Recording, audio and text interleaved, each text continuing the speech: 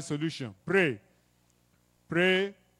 The Lord will visit us again. The Lord gave us fine, cool, good weather today. The Lord will do it again tomorrow, Monday, and Tuesday.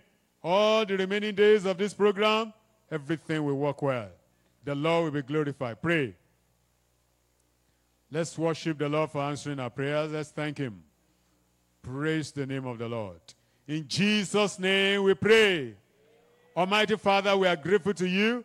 We thank you for this cool, fine weather that you have given us and how you have helped us. Thank you for your servant you have used. Thank you for the ministration, the anointing, the power.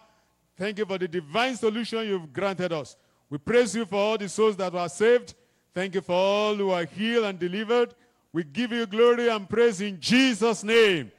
Mighty God, we pray you renew him, renew your servant, prepare him for tomorrow and the rest of this program. Use him much more in Jesus' name. Prepare us also to receive more miracle, more blessing, more divine solution in Jesus' name. Lord, go with us as we go now. Thank you, Lord, for the answer. In Jesus' mighty name we pray.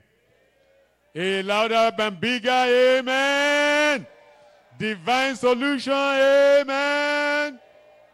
What time tomorrow?